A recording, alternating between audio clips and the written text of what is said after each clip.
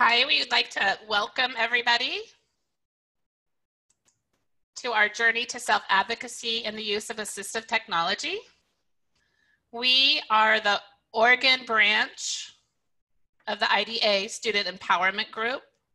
We have a group of students who speaks throughout the state um, and into Washington, and we've gone across country. And we talk about our journey to how we advocate for ourselves and how it's a growth and our journey into using assistive technology. So we welcome you. We thank you for being here and we hope that you're all doing well.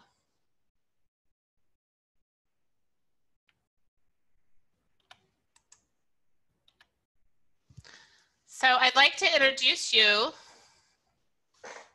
to one of our board members, Jared, to talk a little bit about something that's exciting for us. It's a new running distance student scholarship, and we'll let Jared explain a little bit about it. Hi, good evening. Um, thank you so much for joining us today.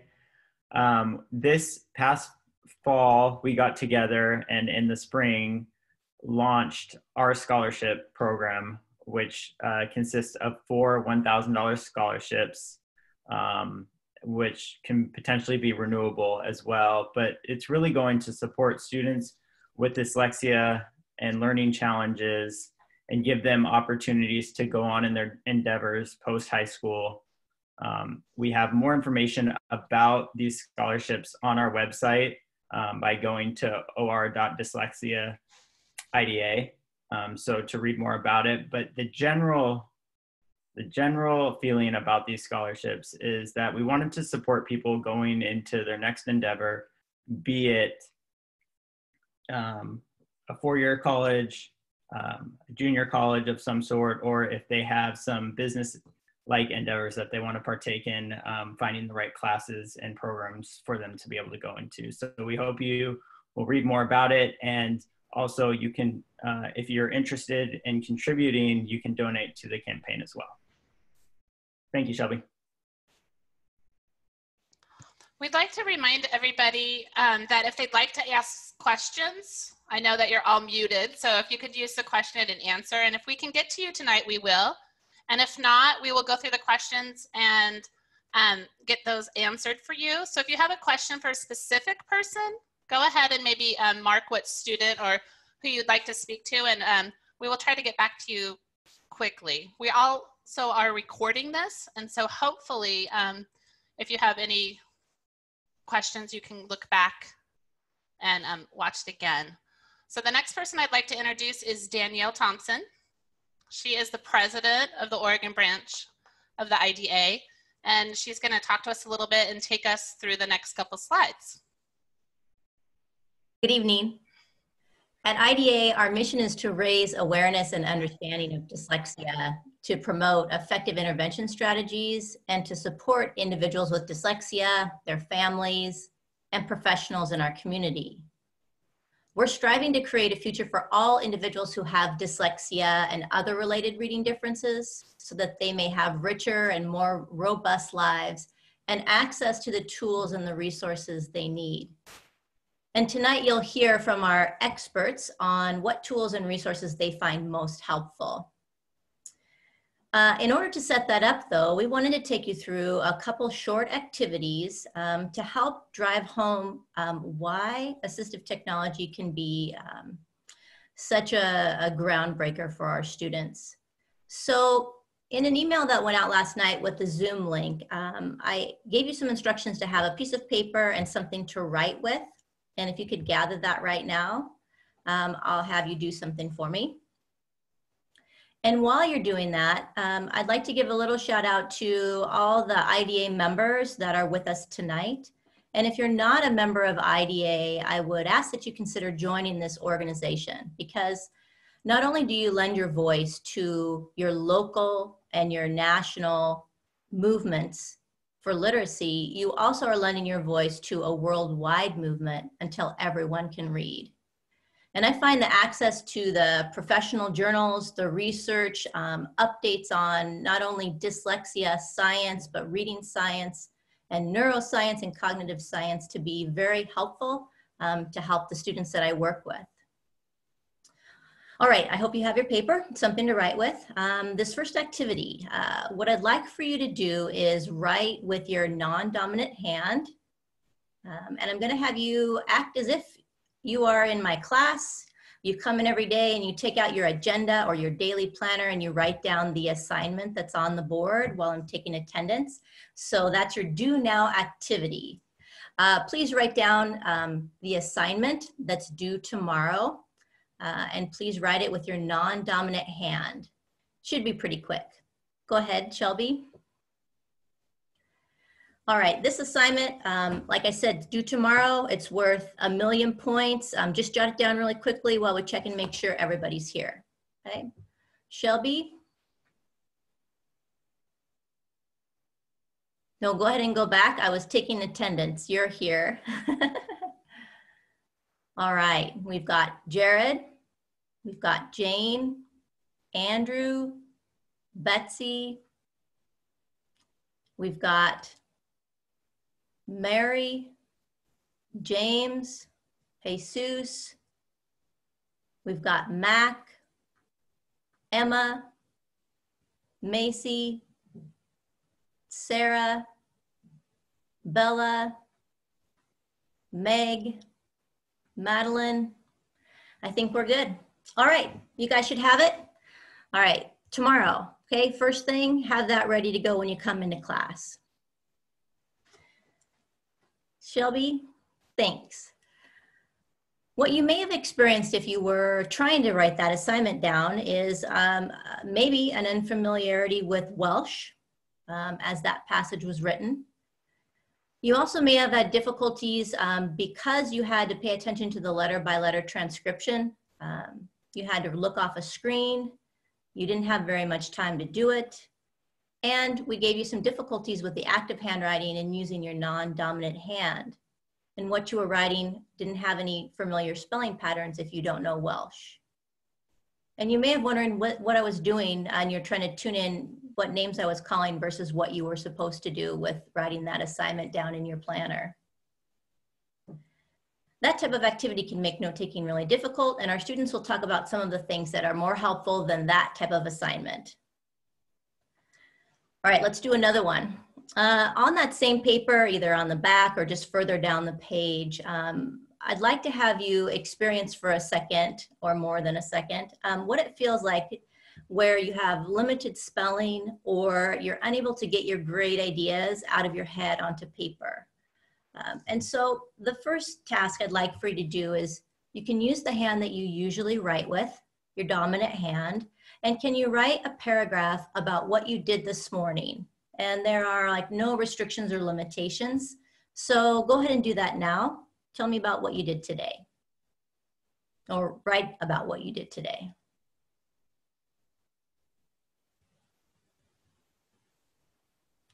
Don't forget to be using those rich vocabulary words that we've been working on to help make our writing sort of pop to the reader.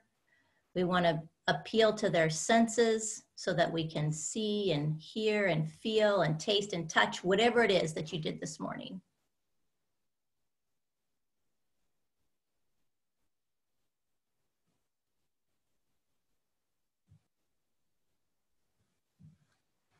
and come to a stopping point on the sentence that you're on.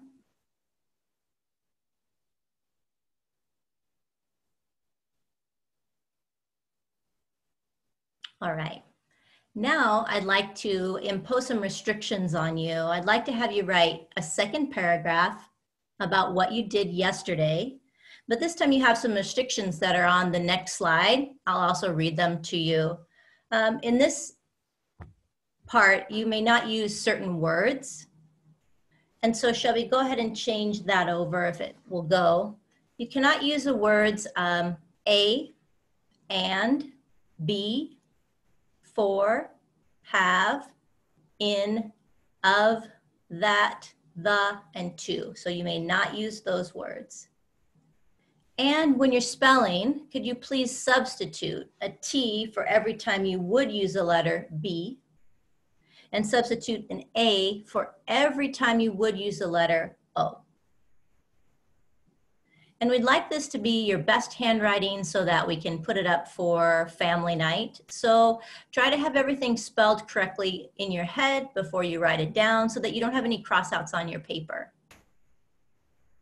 All right, this should be easy for you because you just lived through this yesterday. So go ahead and get started on that paragraph and see if you can fill the page.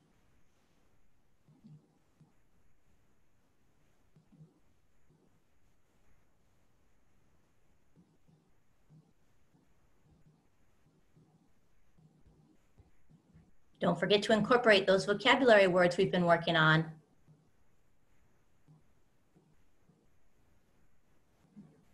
I can't wait to read about what your day was like yesterday.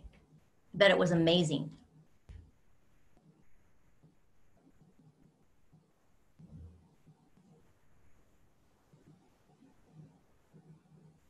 All right, I can see by some people's views, they've switched over to video. I can see some people have nearly filled up their paper so far. Excellent.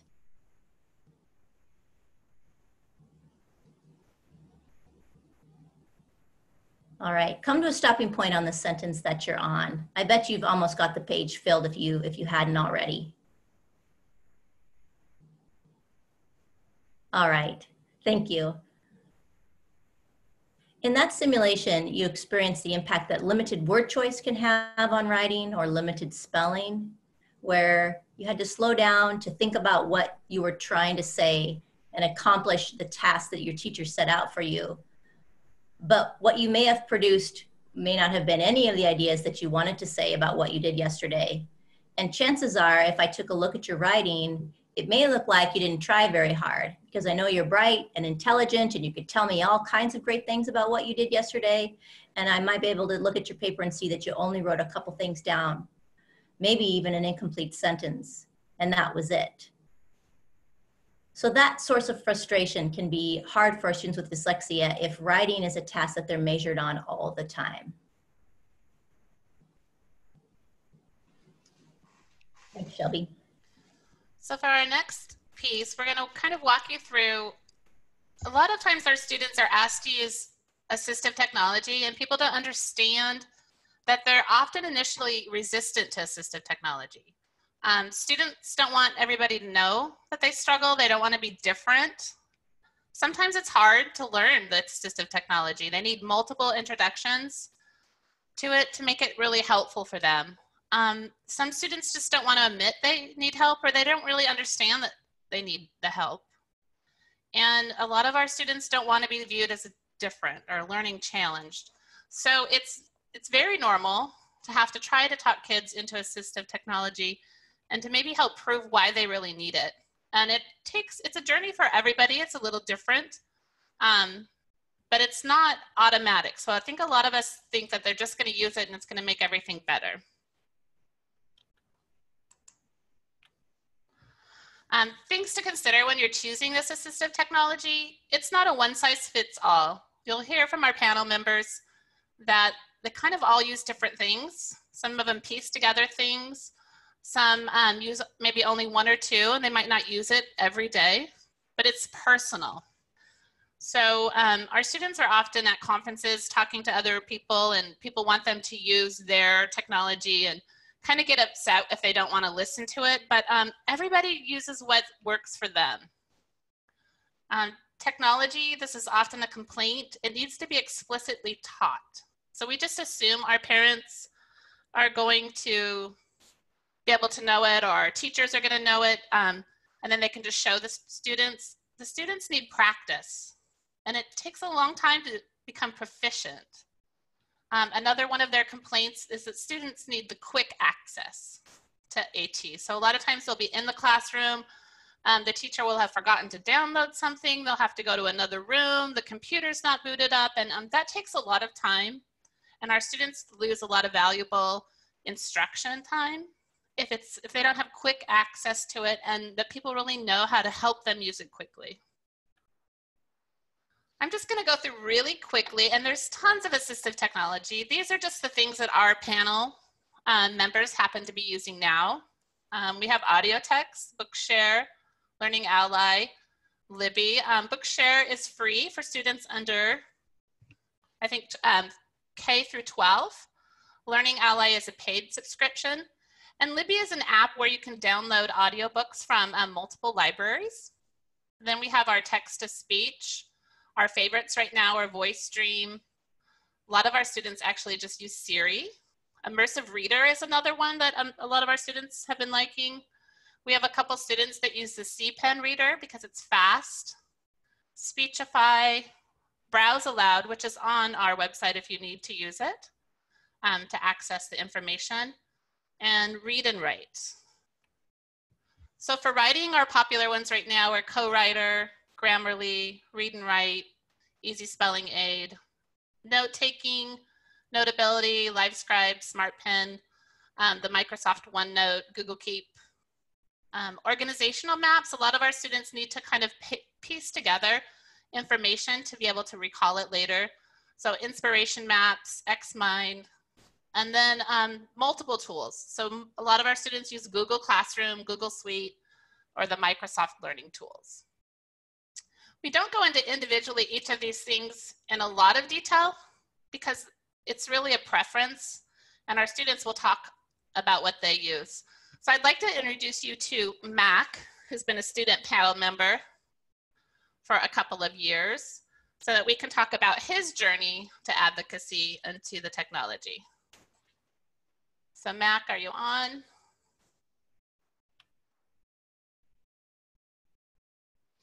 So Mac, um, can you tell us a little bit about yourself? Yeah, uh, hi, my name's Mac. Um, I'm 16, uh, junior at Lakeridge High School. Um, I love the outdoors. Uh, I'm a competition trap and skeet shooter. Um, yeah, and I was diagnosed with dyslexia in fourth grade. So, what do you, um, if you were talking to parents and educators, what's something that's really important that you want them to know about, like your journey? What has really been? Let's talk about what's the worst grade.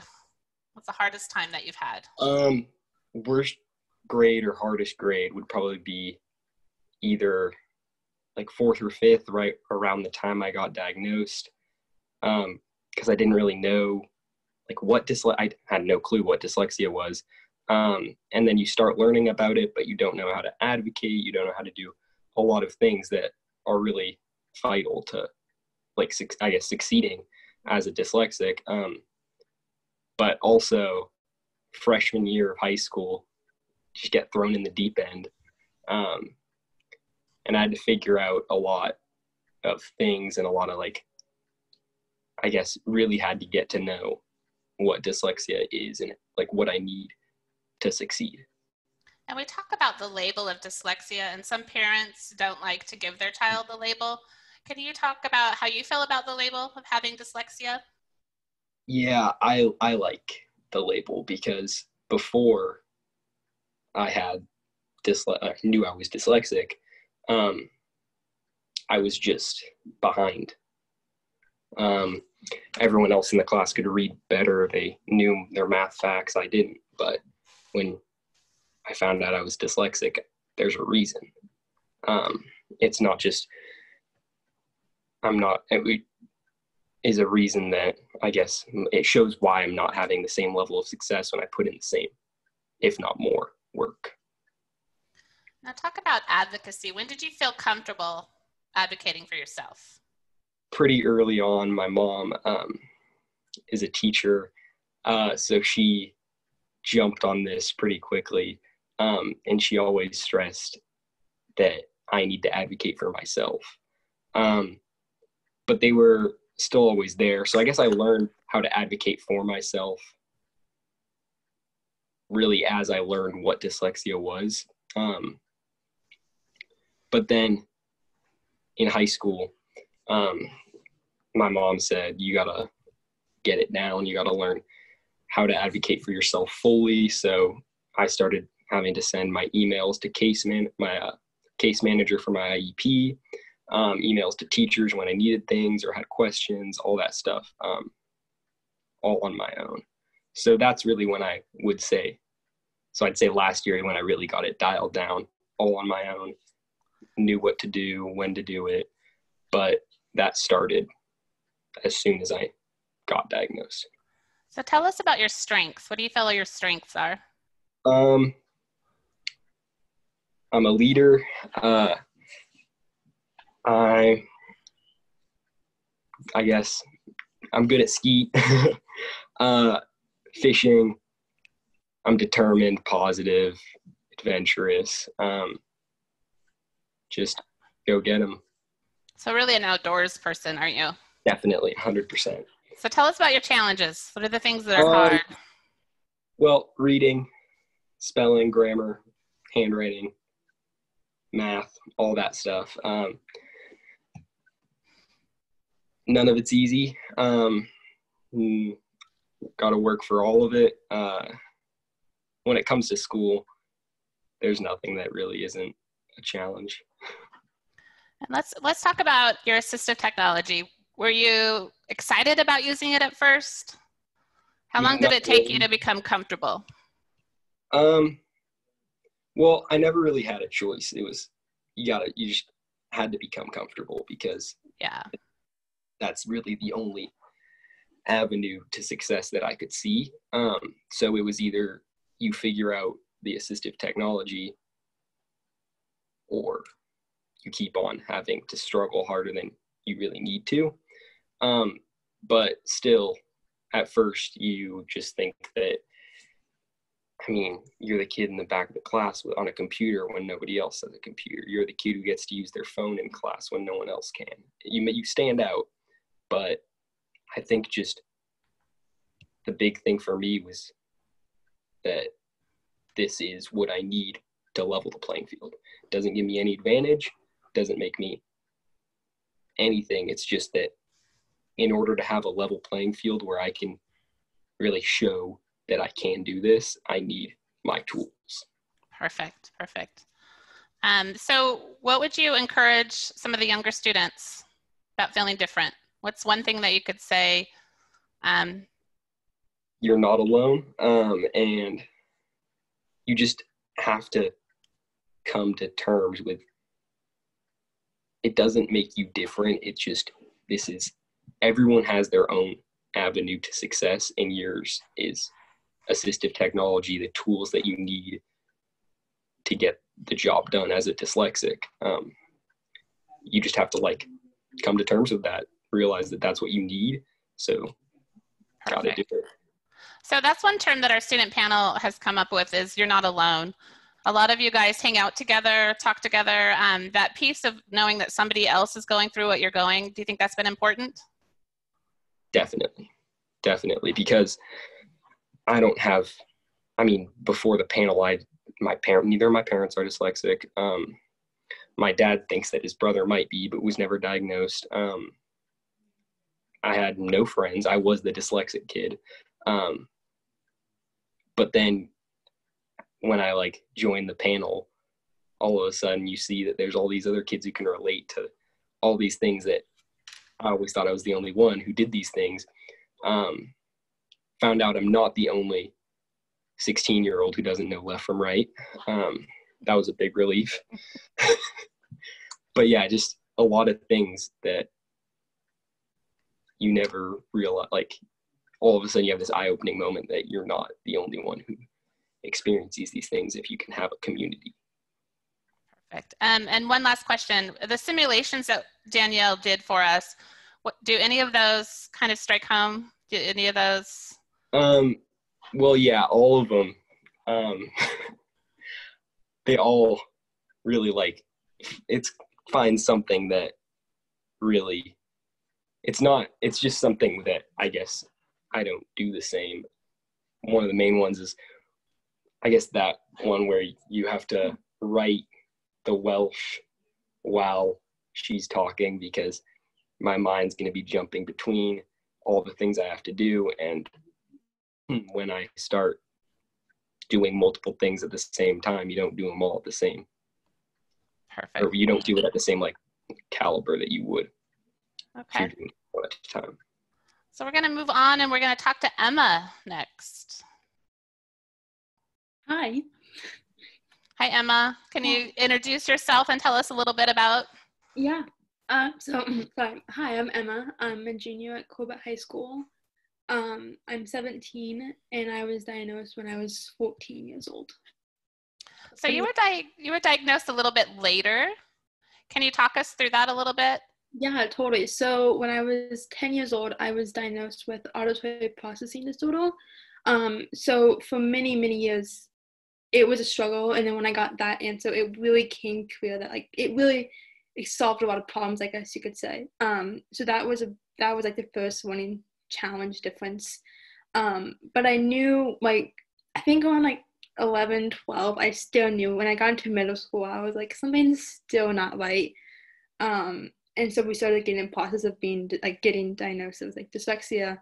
Um, so definitely from like when I was 10, but it definitely took a while for me to like finally have the dyslexia piece into my story. And we talked about um, the hardest time for you. What was the hardest time? Yeah, totally. So my hardest time was like sixth through seventh grade. Um, every conference that my mom and my parents and I went to, my middle school teacher was like, she'll be fine. She'll just catch up. She'll, you know, she'll move on and she'll be fine. And at my middle school, especially, we did a ton of reading. And at the time, we didn't know I had was dyslexic.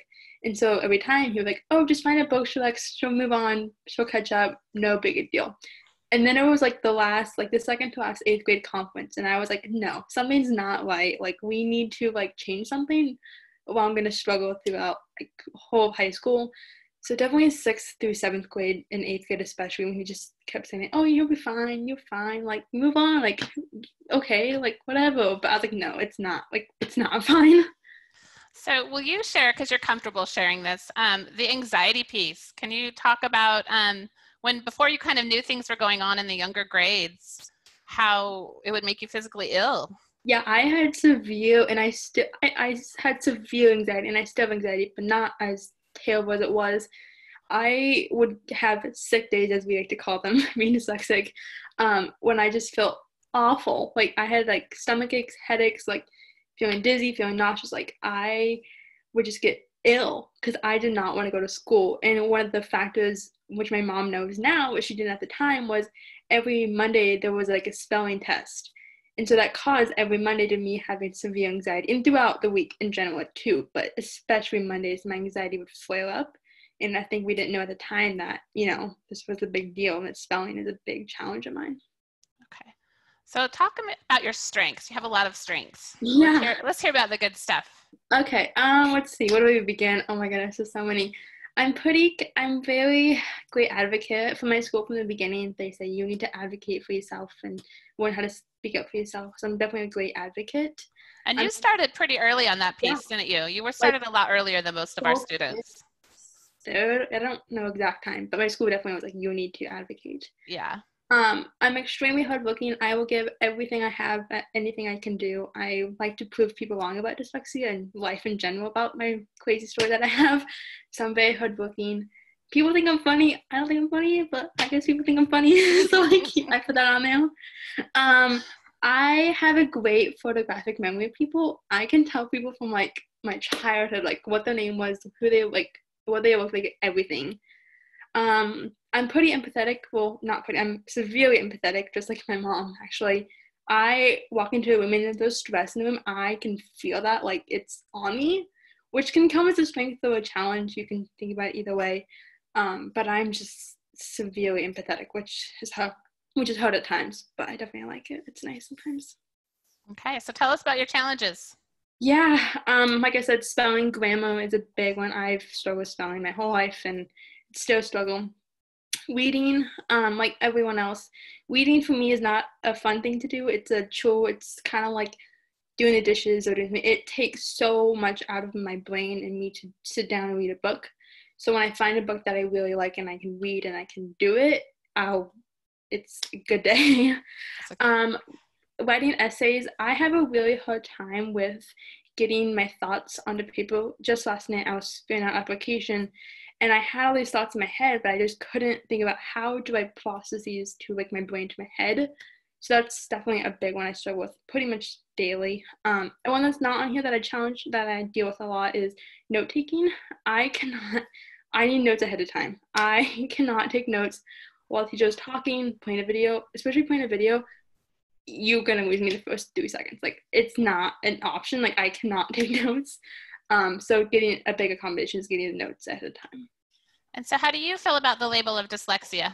Yeah, so I think at the beginning, I definitely spent the time very, I, I don't know if I want to say angry, but very like confused with it all. I like kind of knew what was happening, even though I was 14, you know. Um, but I was like kind of angry in a way. I was kind of like, why do we spend so many years not knowing?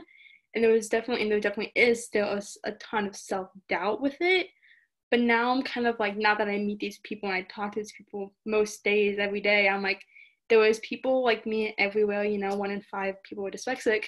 Um, so now I'm more comfortable with it, but it's still not something I introduce myself with, like, hey, I'm, Emma, I'm dyslexic. It's not just that. Um, I don't, I don't know. It's hard to say. Every day is kind of different. Depends on the, situation and person I talk to. Yeah. So everybody has their own kind yeah. of way of thinking about it. So let's talk about your assistive technology. And I want to bring up something. Um, audiobooks don't really work for you. No. And so everybody always says, you know, oh, audiobooks, it's going to fix everything. So um, this, want to talk a little bit about that? Yeah, totally. So since I have auditory processing disorder, audiobooks do not work for me. I've tried everything every time, like everything I've tried with audiobooks, they just do not work for me because my brain just can't process it. So it's somewhat easier to read a book or my mom read a book out loud to me. Um, so audiobooks do not work with me. They work with a lot of other students, but they're just not with me. And that's fine. Everyone can have their different technology and, you know, ways they can, you know, help themselves. Um, but audiobooks for me is not one. But what I do use um, so all these apps kind of correlate to my iPad and my iPhone that I use pretty much daily for my assignments. So Grammarly is a spelling, grammar, punctuation um, help app you can get down any device, and it helps you with like commas, periods, spelling. I even turned my dad onto it with joining this panel. It's kind of fun. Now he uses it. he's like, "Yes, you saved my time." it's so nice. So it's kind of nice that way. Um, so Grammarly spelling grammar. Google Docs I will write anything that I can on Google Docs. I can handwrite, but for me, it's so much longer, and it just it's like spelling and grammar, just too many things to do at once. So Google Docs allows me to have the Grammarly on there and then correlate to writing, which is really nice. And then all of the Google apps, like I said, Google Classroom, um, Google Drive, everything I use Google. I'm a Google person. So when did you feel comfortable? What age were you comfortable and what age were you proficient at using your assistive technology? Um, I don't think that there was a certain age for me, especially since it was only three years ago. So I'm still not hundred percent, but I've got. I think that I think since I was diagnosed so late in the game, I guess I was sort of like comfortable with it, and I was sort of used to it in my high school. Um, but I'm nowhere near feeling just whipping out like my iPad in class and doing that. Um, but I feel like I go to a really small school, so everyone pretty much knows when I pull out like, oh, Emma has an IEP. People just know because I go to a really small school. Um, so I don't know. I'm somewhere in the middle. I'm not. I'm not half time, but I'm totally the half time. It just depends on the situation. You know, I'm like, oh, I really need help with my essay. I'm gonna use it. But I'm like, I can go away without it and not be known. So I think I'm like in the middle. It just depends. Just depends. Yeah. Okay. So thanks, Emma. Thank you. We're gonna talk to Madeline or Sarah. I'm yeah, Madeline next. Sorry, guys. Madeline, are you turned on?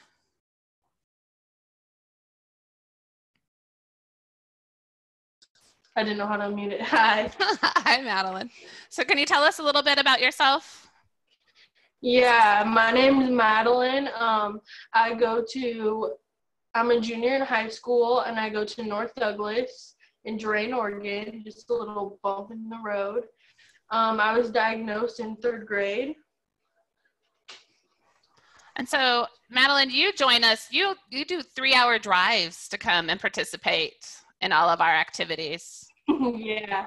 Do you want to tell about um? So Madeline in our group has come up with she needs her people. So every once in a while she'll call us if we haven't done something, and let us know that um she needs her people. So tell us how tell us about that, your people. yeah. So I feel like people here, I don't really open up to them about my whole dyslexia thing. So it's fun going to see you guys, even though it's three hours in, in the car. I'm not very patient, but whenever I go and see them, it's like, finally I can like this side that I hide from people here, I can kind of like open up about and be myself. So one of the things that, um, so a lot of our students on our panel feel really comfortable advocating for themselves. Um, and you've been with us for a really long time, but you have a little bit of a different story. You're not super comfortable in the classroom. And can you explain some things that went on why that, that makes that true for you? Yeah, so I've always had like a hard time like advocating for myself just because where I go to school is so tight knit and you know I'm afraid of like being judged and stuff like that. But you know, whenever I, I was diagnosed, it was hard to like whenever we told our teacher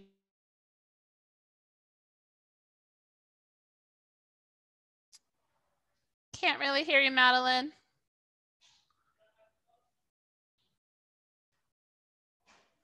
Are you coming back? Last year, um, when I was in language arts class, and we were reading um, a book that was everyone had a part in the book, and prior, like we had our IEP meetings, and I was like, I'm not reading in front of the class. My teacher knew that, and so she gave me the smallest part. I just thought whenever my part came up, she would read it for me.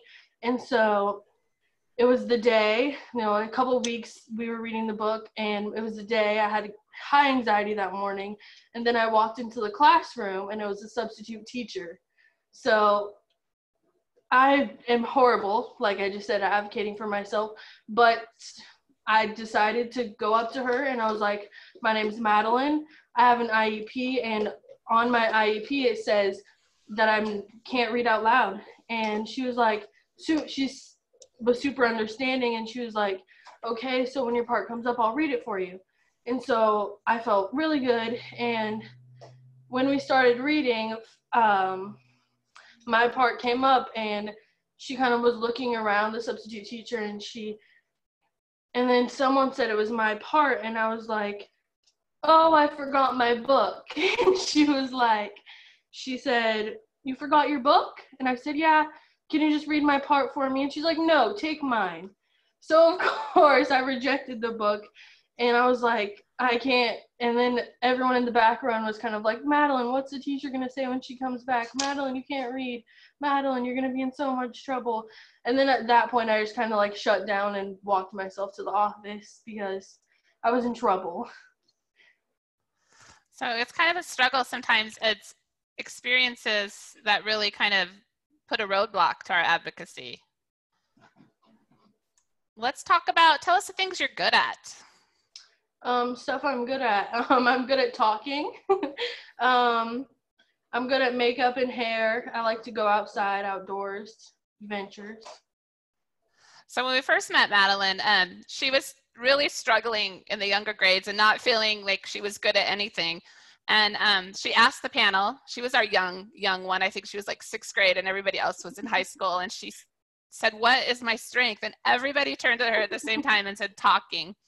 And we often don't think that's a strength, but um, several of our students on the panel kind of were shy to talk. It wasn't that they didn't want to talk. Um, they worried about mixing up their words and saying, you know, syllables wrong. And um, Madeline definitely 100% talking, and, and which we feel is a really amazing gift. So now let's talk about your challenges. Um, my challenges, um, spelling, grammar, of course, um, my times tables and stuff like that, and like reading and my writing. My handwriting is not the best. What do you think your worst grade, the worst experience? Everybody has a grade that I think my worst experience is probably like the time I didn't really know what was going on because I kind of thought, you know, I was dumb. Like, why was I made like this and all those horrible things you think when you're little. But then when I finally got um, like the diagnosis, I kind of felt like there was answers and there was things that out there that could help me, even though I didn't know exactly what they were. So you actually didn't mind having the label of dyslexia. You're comfortable with it. Yeah. So let's talk about assistive technology for you. Yeah, so I use um, Bookshare and through Bookshare I use Voice Dream. Why I use that is because I can just I think the voices sound way better on that. And then um, Office Lens and the one that's the one where you can take pictures of like the menus and stuff so you can like read them and you don't have to feel like embarrassed because you have to ask your mom or something. and I have been working on a Chromebook for like the past like month, month and a half.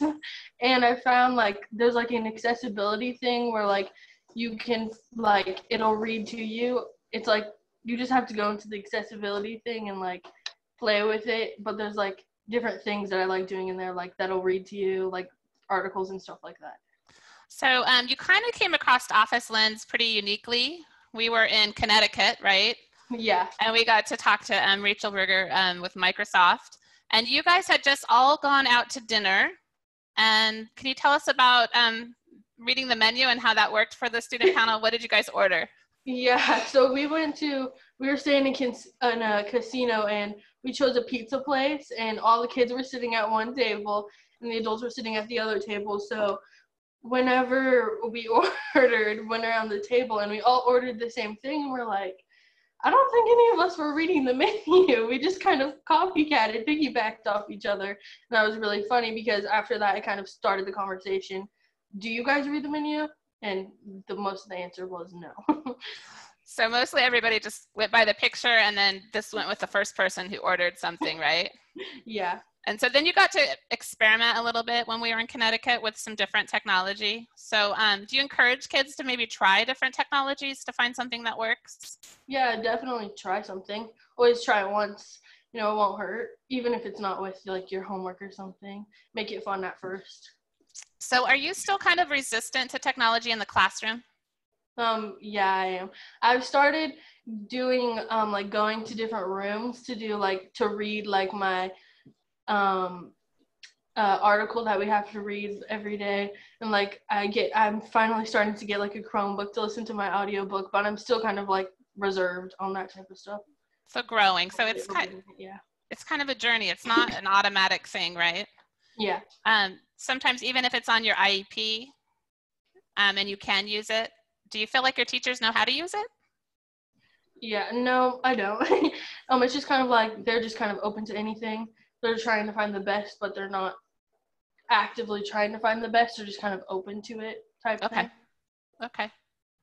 So anything else you want to share with us?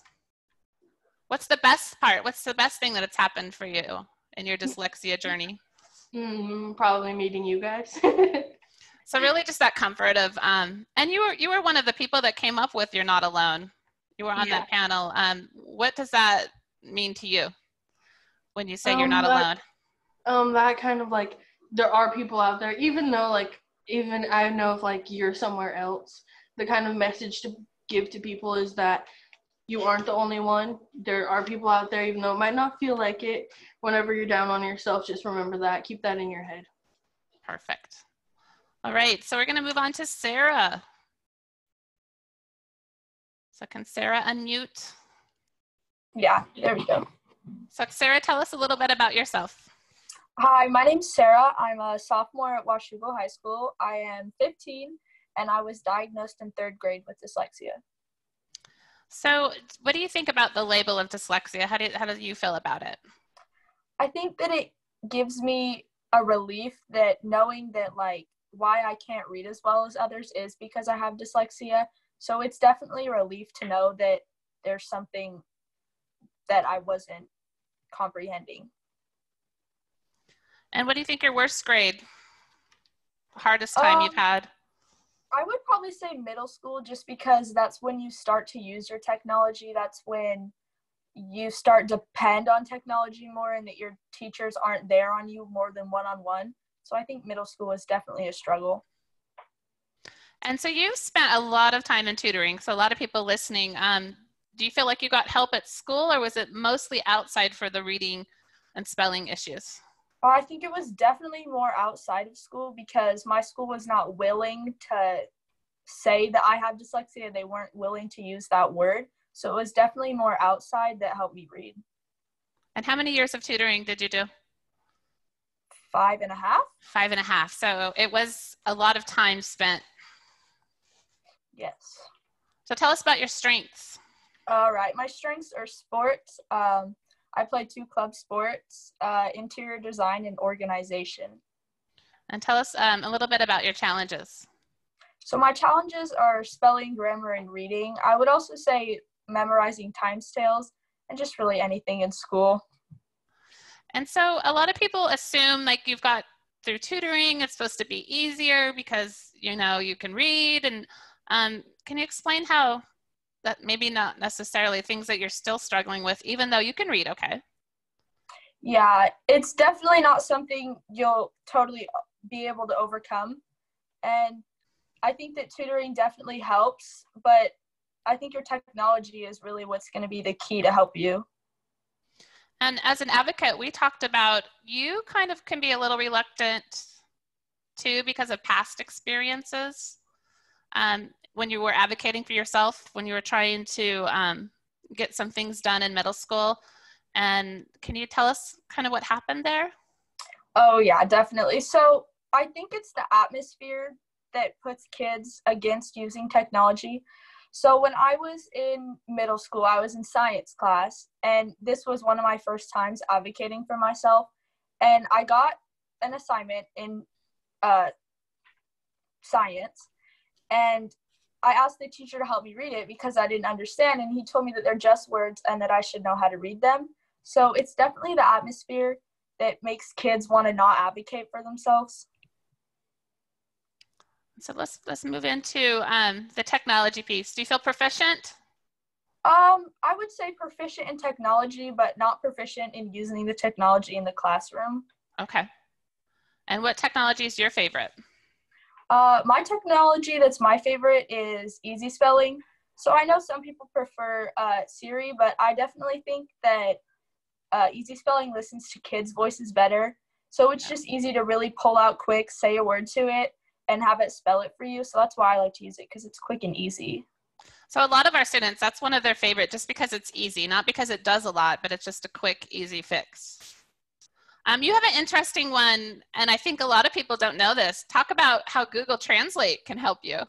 Yeah, so there's plenty of apps out there where you can take a picture and it'll read back to you, but uh, Google Translate does the same thing. So if you set it English to English, you can take a picture, highlight it, and it will read it out to you. And the thing about Google is that there's so many voices you can choose from because I know some people don't like the computer voice. So that's why I use Google Translate because it's just quicker and easier than the other apps. Okay, and you said it English to English again, right? Like you yeah, said. English to English, and then you'll take a picture, highlight it, and it'll just read it back to you. Okay. And what about the "You're not alone"? How did that make you were part of that coming up with that? What does yeah. that help? How does that help? yeah, it definitely helps because there's so many other kids out there who are struggling with what you like with dyslexia. And I think that knowing that you're not alone will definitely help you advocate and it will help you like know that when you're sitting in class and you're struggling taking notes that there's probably another kid in that class that's feeling the same way you are. And I know a lot of times we talk about the bad things that happen in the classroom and things that are hard. Can you do a shout out to somebody that's really changed your life in the classroom, like oh, at definitely. school, that's really helped you? So, my caseworker in middle school, Miss Montana, and then my caseworker now in high school, Mr. Moore. I think it's just because they're so like invested in you. Um, they'll come to my meetings with me with my teachers. They'll make sure that I have the notes. Like they won't go like they won't leave that classroom until I have the stuff I need. And um, how does that make you feel? Does it just kind of change your attitude about talking up and yeah, speaking up? It definitely changes your attitude. It gives you a strength that I think helps me because when I'm down and then that teacher's in there making sure that I'm getting the work that I need and the time I need, it helps me. So thanks. Thanks, Sarah. Yeah. So we're going to be moving on to Macy. Hi. Hi, Macy. Can you tell us a little bit about yourself? Yeah, so my name is Macy. Um, I go to Cleveland High School and I'm a sophomore. I was diagnosed in the fourth grade, at the end of the fourth grade, and I've been on the panel since the eighth grade. So tell us about how you felt with the label of dyslexia. Um, at first, it was it was kind of weird. I didn't feel totally comfortable telling my friends. Um, but after just a few months, I felt very comfortable in it and it was kind of it was a good thing because it it made me feel like my challengers weren't so much me but my dyslexia and I could pin it on something that wasn't just me being not so smart. So you had a kind of funny um the glitch. Can you tell us about the glitch? That's a great story. yeah, so in in the first grade, um, my first grade teacher came to my parents and basically told them that I was learning much slower than other kids and that there was probably a learning disability going on. Um, but my parents knew me and they were like, if we tell her she has a learning disability, like dyslexia, she's not going to understand what that means. Um, but they knew I would understand what a glitch was, like in a computer or something. So they said my brain just had like a slight glitch that made it harder for me to learn. And so um, I guess uh, up until the fourth grade when I was diagnosed, people would ask me, well, like, why aren't you doing this? And I'd be like, well, I have a glitch. That's perfect. So tell us about your some of your strengths. Um, so I would say my strengths are running. I really love running. Um, in the third grade, I joined something called Girls on the Run, and it was just it was such a blessing for me because I needed something to be proud of and feel confident in outside of school, and that was what it was. And so I've been running since the third grade, and that's just a huge strength. Um, and another strength is my writing, not necessarily like grammar and spelling and all of that, but just being creative and coming up with the stories is really fun. So, and that kind of, when you talk about that with the other panel members, they kind of get a little jealous, don't they? yeah, I think it's very definitely not the most common thing for a dyslexic to say that they like writing um, but i guess for me at least it's it's just a helpful way to kind of like get out of the real world and just write what i'm feeling so, so and i think it's important for people to hear that um, you enjoy writing and you're good at it mm-hmm. because a lot of times we just we kind of label. So if you if you have dyslexia you can't write you can't take spanish you can't you know do you can't you can't yeah. and um it's just so everybody's so individual. And i think totally. that sometimes we need to stop saying you can't. It might be hard. Um, so i love that you love to write. So tell us about some of your challenges. Um, some of my challenges are definitely spelling. Um, i've never been good at spelling and grammar and reading reading has always probably been one of the harder things for me along with math um, and note taking as well. Just like seeing things up on the board and taking them down because that's a mixture of things because you're you're writing like you're using spelling and so no one else could read my notes. Um, and it's just you have to write really quickly and that doesn't my brain doesn't process as quickly as other brains. Okay. And so that kind of maybe leads into your worst experience um, your worst grade in school yes Can you talk a little about that um, so i guess in the third grade um, we were doing times tables, multiplication. Um, and I am not good at multiplication. I was never very good at multiplication and I couldn't memorize the things. I, I didn't understand what multiplying was. Um, and so for each week, we would have a test at the end of the week that was like your, your ones, your twos, your threes, up until your 12s. Um, and for each test that you passed, you would get something on an ice cream sundae. And at the end of the unit, you would have an ice cream sundae. And it was my biggest fear that I would only have ice cream because that's the only thing you got, you know? um, and I guess that was just, that was really a hard time for me because it was like I didn't want to be different than others and I didn't want them to see me as less. Okay, so, and that happens a lot to students. They have those little parties, those little incentive parties. Um, if they work hard enough, they get to go to the Friday something. And then I think a lot of students with dyslexia, there's that ex- expectation that they haven't been working hard. Can you talk about maybe how that's not true? Like you're working twice as hard and how it's really more of a time issue? Yeah. So, I mean, for me, I remember coming home from school, walking home, and I would tell my mom, I'm working twice as hard. I'm working 10 times harder than everyone. And why am I not why am I still doing less than them? Why am I still getting worse grades? Um, and I guess for me, it was like if you give me 10 minutes and you give everyone else 10 minutes, I'm just not going to complete the work in 10 minutes. But if you give me 20 minutes, I'm going to complete the work and it's it has the possibility to be better even because I I do have the possibility for greatness. I just need more time. And then tell us about your favorite assistive technology. Yeah, um, I love audiobooks uh, like Bookshare and Read2Go. Um, they've been, really been a lifesaver, especially um, in middle school and now in high school. Um, just reading like any sort of textbooks because they come on Bookshare and Read2Go, and also Easy Spelling Aid because I've always struggled with which there's the right there and which which is the right which and things like that.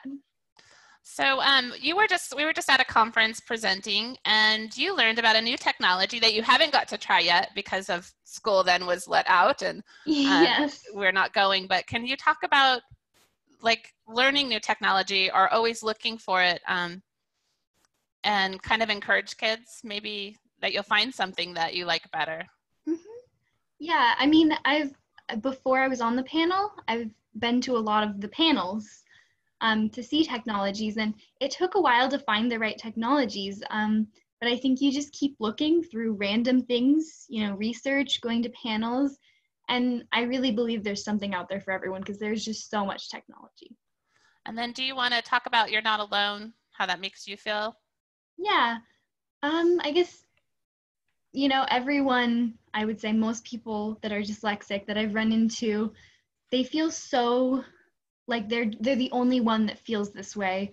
Um, and it's really it's just not true at all. You know in elementary school and in middle school until i joined this panel i thought i was the only one. But now i come to find out i'll say i'm dyslexic in a classroom setting and 10 other people raise their hand saying i'm dyslexic too and suddenly they feel confident enough to tell me their stories and i think that's really a good thing because everyone else feels more confident in themselves and like they're not alone perfect thanks macy mm-hmm. We're going to talk to Meg next. Meg is new to our panel. This is her first presentation where she's speaking in front of a group. Hello. Hi, Meg. Hi. Can you, can you tell us a little bit about yourself? My name is Meg. I'm a freshman. I go to Newberg High School, and I was diagnosed with dyslexia in the fifth grade. So we talked about um, the label of dyslexia. How did how did that make you feel? Um, I didn't really start embracing it until eighth grade because I used to go to a really small school where they didn't um, provide accommodations. They didn't even really think dyslexia was a real condition, honestly. Um, so it made, made it a little tough. It was really tough because our classes were so small, and I was always the one who was struggling, and I felt ashamed that I was struggling, and I never wanted to tell people that I was. So when you got to eighth grade, you said kind of everything got a little bit better, right? Yeah, a lot tell, better. Tell us why. I got to start using technology for the first time. Um, I never got to use it before at my old school, and so I had to learn how to use everything. But as soon as I started figuring it out, I learned that there was such a thing called spell check, and that really helped. So it was li- that's gonna be life saving, can it? Mm-hmm. So let's talk about some of your strengths. Um, I love doing various forms of martial arts or climbing and fishing. And I also love writing stories. Not so much they're writing it down, but I constantly have a story going on in my head. And then what about some of your challenges? Um, the kind of usual with dyslexia, spelling, grammar. Um, I also have a visual processing disorder, which makes note taking and reading even harder. And then I have a lot of trouble with advocating for myself because I went through so many grades without knowing how to. And so, when you're talking about advocacy, where do you think you're at in your journey? Are you more at the beginning? Are you getting more to the intermediate? Um, yeah, I'm kind of at the beginning. The beginning. Yeah. And so, I think for a lot of educators and parents, we just need to hear that it's a growth. A lot of times they're like, well, you just have to advocate for yourself. Um, and that might not work for everybody, especially if you're an introvert and you're a little yeah. shy. It's it can be really tough. It's and it terrifying. Could take, it could take a good couple years to um to work on that. And I've just seen in the last two times that we've met, like it's gotten, you've just gotten a lot more talkative. Um, do you think it's because you're hanging around other kids? Yes, Similar? Yeah. absolutely. I've always wanted to find a community where I felt more comfortable talking about my struggles. And then I found this group and it just clicked and I felt so much more comfortable talking. You know, and for myself, just being around you guys, I always talk about um, the back seat dyslexic because I'm driving people around to things.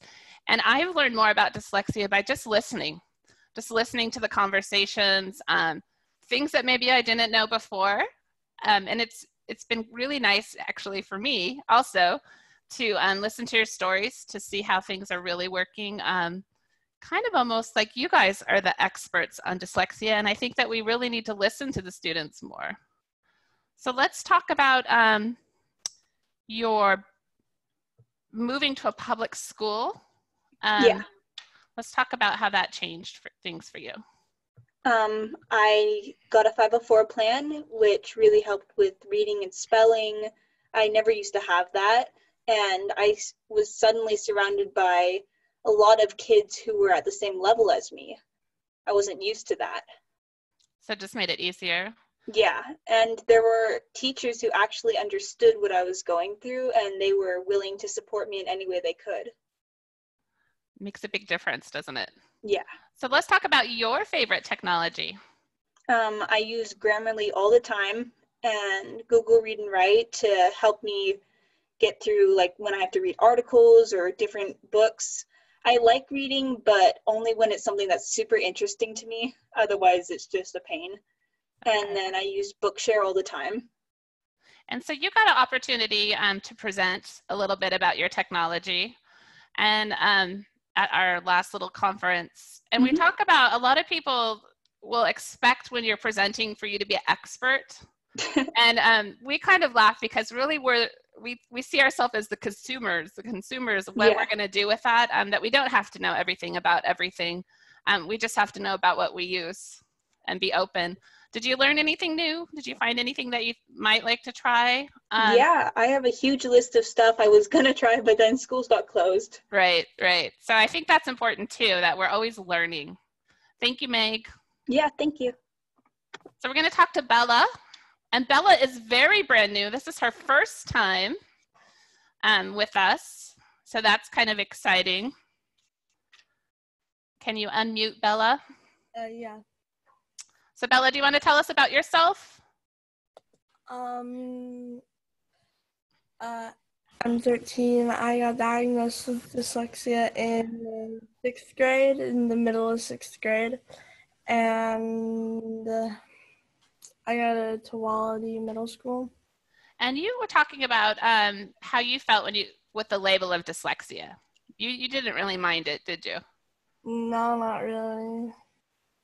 And you told me about your worst, your worst um, grade. You said it was something to do with third grade because of chapter books. Can you explain that?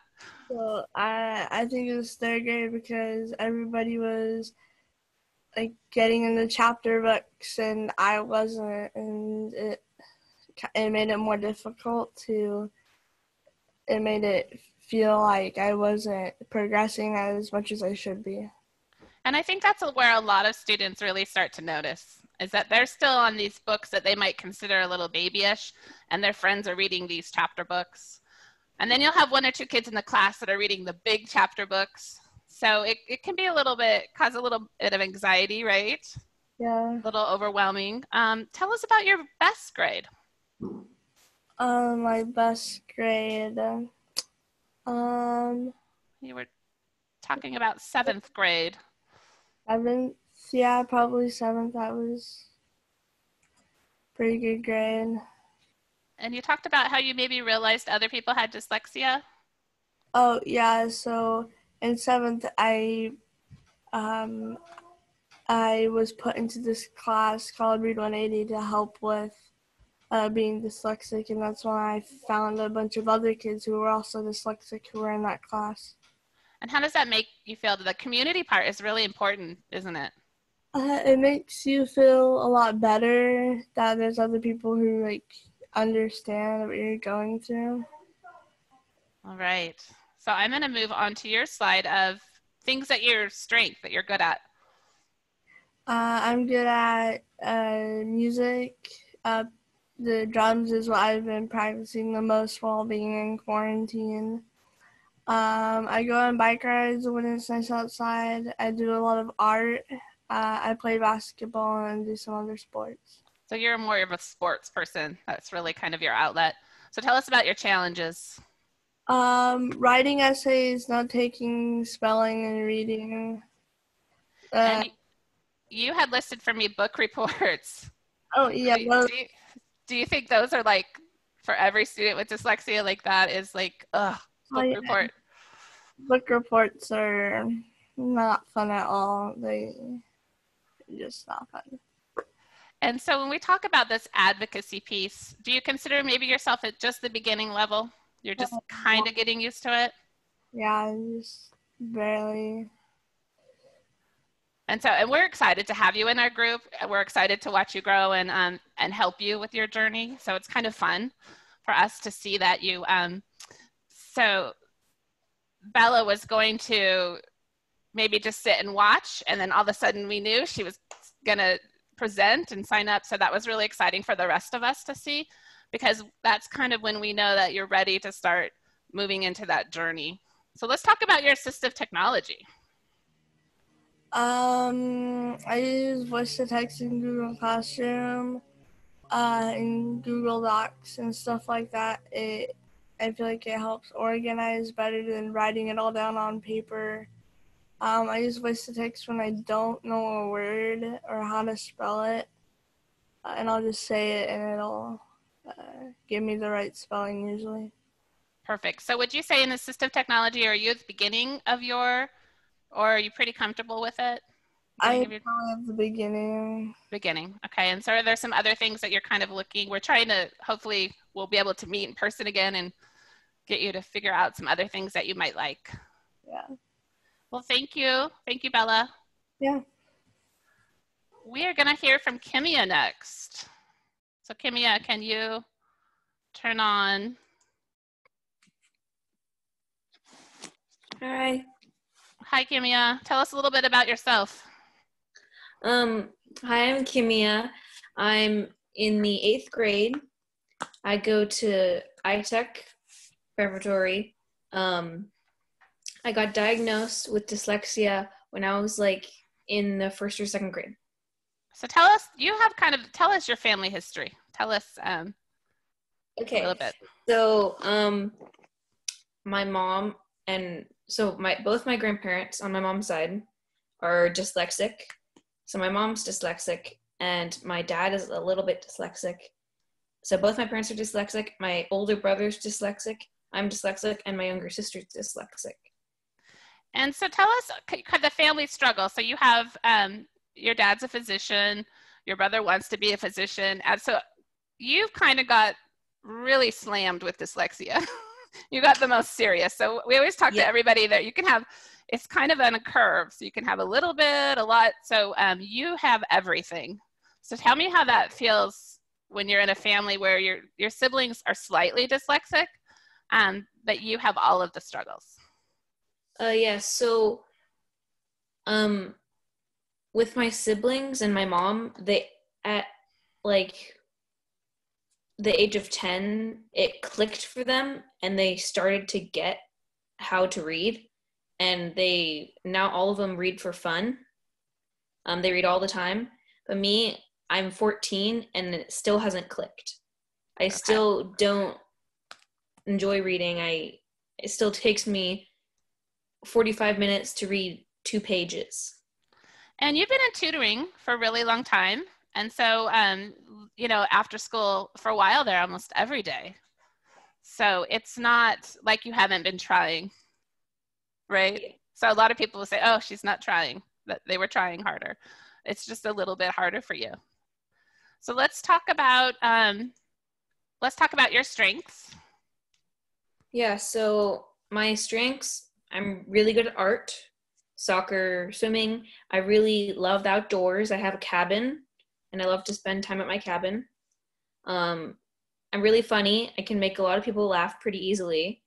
Uh, and I'm really hardworking. I don't quit. I persevere. You uh, you do work hard because you're constantly constantly working. So tell us about your challenges.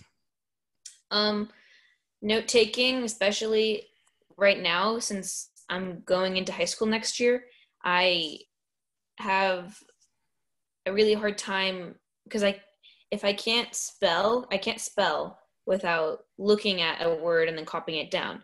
But if I keep on looking at the board while they write it down and then looking back, I um will get really really bad headaches from glancing up and down and up and down for every letter. Also, by the time I finish my first word, they've already erased the whole sentence. Okay. So I get notes provided for me. So when we talk about advocacy, I've I've known you for a really long time, and you just were an advocate from like day one. Um, do you want to talk a little bit about that? Do you think it's because of your family history? Um, so I did when I was um, younger. I did go to a very small private school, and it was. Uh, I think it was easier for me to open up because everyone was my friend, and there were a lot of people there that had that had learning disabilities. So I had from the start, I had a really good community around that. So now I am basically like my name and then dyslexia, dyslexic under it. Under it, I don't know what I would be like without dyslexia. It's something that has shaped my personality. And I, so I, I find you a very strong um, with your people skills, being able yeah. to make people help you and explain what you need. So I think that's important that you're more on the extrovert, so the advocacy comes a lot easier for you. So um, you, this is the part that we have struggled trying to get you to use some assistive technology, and you probably have been the most resistant. Um, but all of a sudden this year, tell us why you're using it. Um, so before this year, I know how to use it. It just takes longer for me to do it. And um it was really hard to start doing it in class. But this year, since I'm going to a different school and my school is a STEM school, everyone is using technology all the time. So I don't stand out. And but basically all my teachers know how to use the technology. And it's just kind of like everyone gets out their computer in the beginning of the class. And then i don't stand out. Um, and it's it just has been easier to work it into every day. And so we have talked about it's really that teacher knowledge. They know how to use the technology so they're able to help you use it quicker and faster right? Um, yeah. because before you know, at the school, not everybody was really into technology, they didn't know how to use it. Um, if you're not using it day to day, it's really hard to learn how to become proficient, what do you say? Mm-hmm. So, um, your favorite new technology? Um, immersive reader is definitely my favorite new one because so immersive reader, all you have to do is you highlight it and then you like I think right click and it says, help me read this. And so you click it and it just brings all the text you highlighted into a separate document, spaces it, puts it in the font you like, and then it will read it to you. And it has like an actual voice. Perfect. Well, thank you, Kimia. My we're pleasure. Gonna, we're going to talk to Jared. And our students always love to hear um, Jared because he got through school. He did his end of the journey.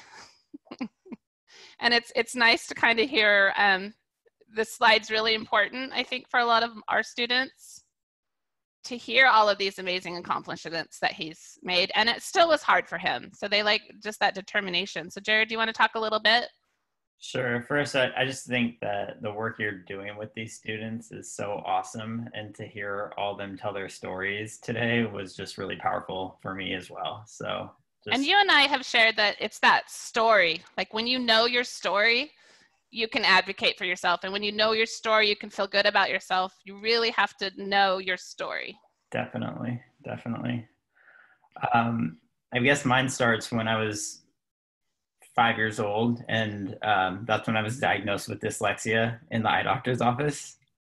Um, and back then, we didn't know much. You know, we didn't know anything. And fortunately, like my mom and my dad jumped right on it and tried to figure it out. But we joked that they put our my educational program together with uh, duct tape and shoestring as we kind of tried to figure it out with tutors and um, um, I, I had probably what they refer to as dyspraxia now, but I needed occupational therapy as well. The running joke in my family was if I if somebody opened the car door, tied my shoes, and took me to the soccer field, I could figure out how to play the game. But it was like getting there that was such a process.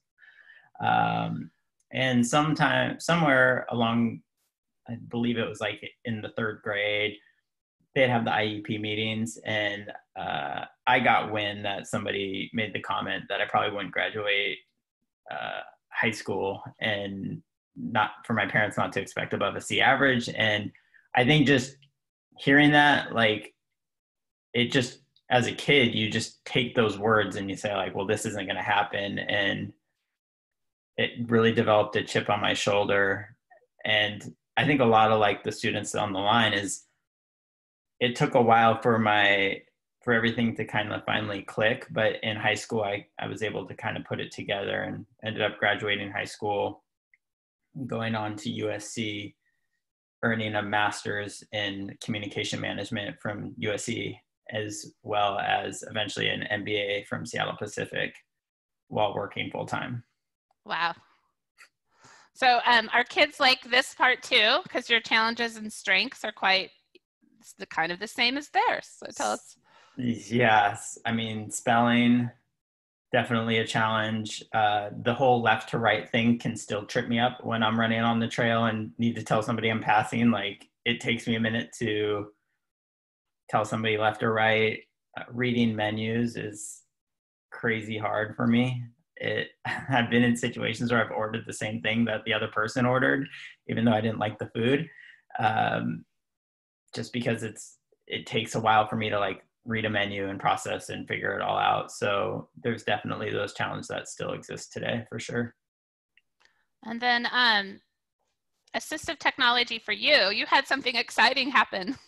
Yeah, I mean, so this whole work from home situation really got me playing around with the tools, um, different different assisted technology, and I really was able to find that immersive reader is such a benefit to me um, in that I'm, you know, I can have my emails read to me. They come across in the dyslexia font, so that's really great.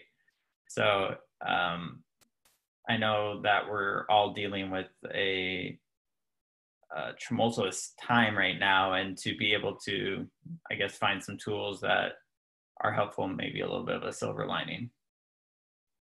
And I, I think it's important for um, I guess, teachers and parents and even other people with dyslexia, it's we all go through these periods of where we have the anxiety, we're not going to, you know, and then we conquer it. And then sometimes they think that everything's going to be great. And then we find something new that's a little bit harder, a new environment. Um, so do you feel just like that you're not alone? Just really makes a difference? Yeah, I think so. I mean, I go back to when I was the age of a lot of the students on the line, like I didn't know anyone that was dyslexic. It was like I think I met one person who was in grad school uh, when I was like 11 years old.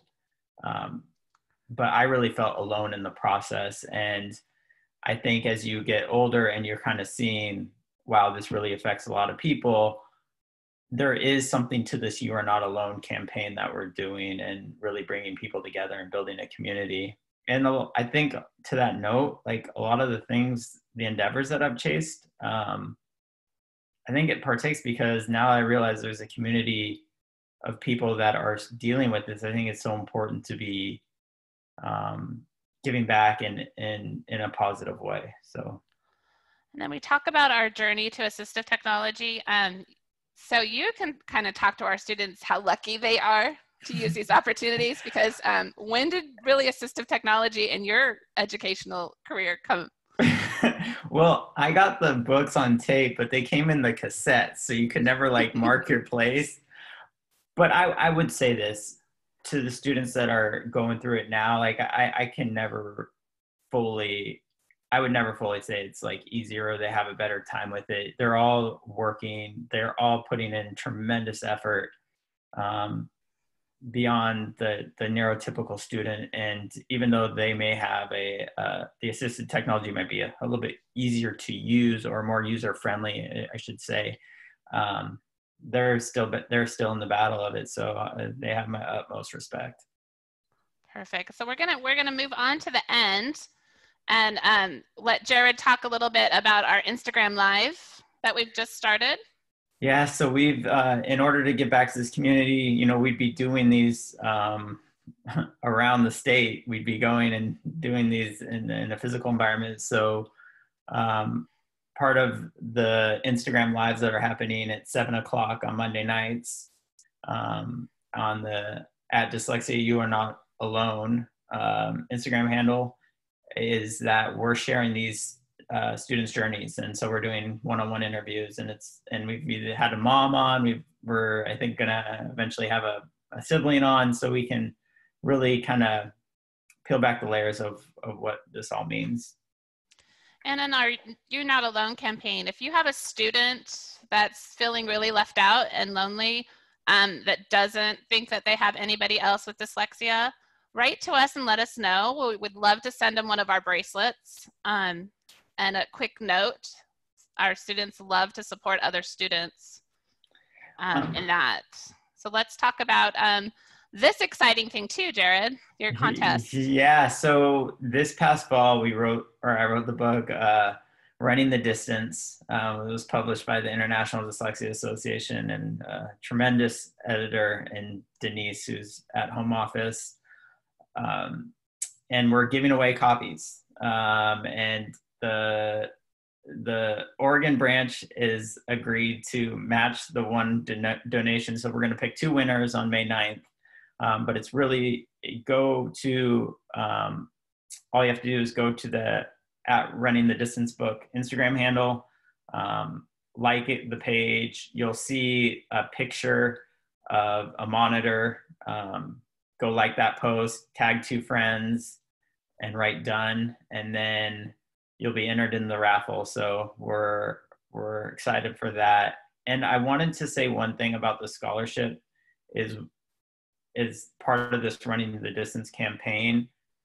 The scholarship is is we created in a way that it's user friendly for this um, for this community. So it's it's really you know make sure that you go check it out if it if it applies or you know somebody that might be able to um, apply for it because we really tried to make it user friendly and if you're looking for a way to help support our students this scholarship is an amazing um, it's amazing to me because a lot of times when you see a scholarship it's just for college.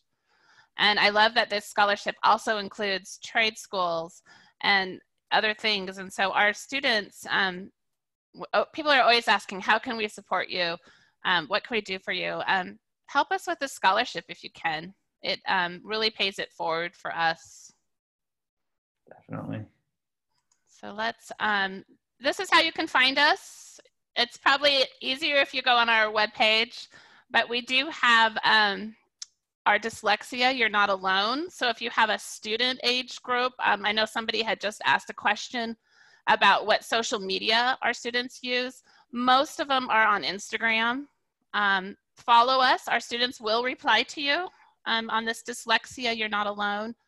Um, and maybe watch them on Monday nights. So Definitely. it's kind of a good thing. Um, we've we've kind of adopted a couple little members. Um, our group is a eighth through 12th um, grade, but we've we've ran into some younger students that we will once in a while send an extra video too. And so if you need that kind of help, really reach out to us because we'll be glad to help you. Um, we're on Facebook. Um, our students tell us that's kind of for old people, so they don't really use it much. and um, we do have a new YouTube page um, that we're going to hopefully post this um, presentation. And um, if we can get 100 people to subscribe, we can get a better, easier quicker um, YouTube name. So please help us with that if you can. And um, we are also on Twitter. Um, we thank you for being a part of our journey. We love um, that our students can tell our journey. Um, and we really want people to know they're not alone. And we have gotten some questions here. So um, I'm gonna take a minute and see if we can answer a couple of these questions. So um, I think this one is for Emma. If you could click back on. Um, there's somebody that is an assistive technology specialist Oh, wow. and, and they wanna know what exactly happens that causes you the challenges of using the audiobooks. Yeah, so since I have auditory processing disorder, my brain can't process information. Um, like it can't process information. So my so I can hear perfectly fine. I don't. I have no hearing issues. So my brain can't process the audiobooks. Um, so I can't process the reading the book. Um, it just doesn't comprehend in my brain. I guess is the way to put it. Like So it's just, it's not. yeah, I think it's just part of being my I have my auditory processing disorder. It's not, yeah. Okay. So, I don't So- know the best answer, but that's what I got. No, and I think just it, some things don't work for some people. Um, we have some students on our panel that can't follow along with the book when it's highlighted um, in in a book because they don't have enough attention to pay attention to what the words are saying and the screen. So some of our students that are um, severely ADHD have a hard time doing that. So we have another question, um, and this might be maybe a good one for Mac. So if Mac wants to come on, um, do dyslexic kids use social media groups to network with other kids to build a community? Um, yeah, I mean, part of it is a lot of, I guess, how friends work for us. I mean, I know basically everyone on the panel, if they have Instagram, we all are friends on Instagram. We all follow each other. Um, but that's also a good way. I know we have a couple of group chats that, like, sometime, like, I guess someone will say something or point out something and kind of we'll have conversations and stuff in those. And i feel like that's it's a good way to connect with people because especially these days you can't you can't see people. You can't i can't always hang out with people. I'm pretty busy. Um but to be able to just jump into something or reach out to someone um quickly can be helpful. Yeah All right, so I think that social media piece, um, I was not an Instagram person and the students set up that for me. And I found a lot of really interesting pages of people who had um, dyslexia that we have all started to follow. So that's kind of, um, it's kind of a good resource because it can be quick when you want it to be and you can just check in. Um, you don't have to identify yourself, but you can kind of follow. So um, do we have any other questions? Is there anything that we haven't answered? Am I missing anything? Shelby, yeah, can you hear me? This is Yep. Danielle. Yes, there's one that moved into the answered column um, because I said, I hope we get to this one. Um, uh, Melanie typed a, a question that I think we can answer in more detail after this event, and we'll do that. But Okay. Um, it's about schools not letting her daughter have any assistive technology or even a human reader during the English language arts testing. And the principal had said, that's just how it is. And we expect that kids with dyslexia will do poorly and, you know, that's it. So do we have any student that can talk about accommodations that they've gotten on any standardized testing like, uh, what is it, Smarter Balance or anything else? Have you had readers? can i chime in there yeah, go ahead. Um, for a while, I did those, and that's the same same thing they told me. Um, you can't you can't have anything. Um, you can't really do anything, and that it doesn't. It didn't ever feel good. I hated it because I'm not one to just sit back and allow myself to fail, and you get put in kind of like a stuck between a rock and a hard place because there is no option and i'm i now i don't i am exempt from them um but for yeah, it's just it's it's one of those things where yeah, because we're all trying to have this. I mean, we're all learning how to advocate for ourselves and like show that we can succeed. But then they, the school told me at least that yeah, you're expected to fail, and I did fail. I failed a lot of them. Um, but yeah, I never never got any um, help on them, any of the things that I need for success, which then it doesn't effectively measure anything for me. It just shows that I can't read well, write well, things like that. Yeah, totally. I'm first off, I want to say I'm sorry. That's awful news to have your daughter or your son hear that you know they're not like they can't use this. Um, I was very lucky to have technology since day one, since I started doing um, standardized tests. So I've always had the option to have audiobooks, um, separate setting. Uh, what I don't know, just I haven't done it in a few years. Just I think the biggest thing is just fight for your child and fight and that they need that, and it can make a big difference. I took the SAT just about a month, a month and a half ago, and I got a separate setting. Um, obviously, meal time. Meal time for me is huge on those long, big tests um, audiobooks if I need audiobook the test if I needed it. So just fight for your kid and just tell them like this is gonna make I don't say make a break, but this is gonna make a huge impact in the ch- in my child's succeeding or you know not doing so well. So that's like my input. Okay, and so somebody has a question for Matt about how did you um, exempt from standardized testing? How did that happen? Um, Did your mom sign you out? Yeah, yeah. My, I mean, my mom's a principal now, and she's she just kind of had enough of it. Um, because it's just it, it ain't it ain't fun um to go into something knowing you're gonna fail. So I think a she took me out of it because that's gonna wear you down pretty quick. Um, and then B, she took me out of it because all it does is it, it I mean, it's because I know I was thinking about it before schools got closed because I was looking forward to the couple of days I was going to get off for state testing because uh, I was just not going to go to school. Um, and I was messing with my friends about it. They aren't dyslexic, so I was messing with them about how I'm going to get a second spring break. Um, but yeah, I know I don't know exactly how she got me exempt. Um, but yeah, so, she did. It's a big help. So as a parent, you can sign your child. You can have them exempt. Yeah.